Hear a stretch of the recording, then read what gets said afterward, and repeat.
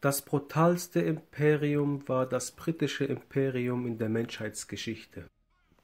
Über 500 Jahre existierte dieses Imperium und ihre weißen Eliten führen ihre Ideologie bis heute weiter. Die weiße Vorherrschaft. Es stimmt, das deutsche Nazireich war schlimm, aber das britische Imperium war tausendmal schlimmer und tausendmal brutaler im Umgang mit anderen Menschen.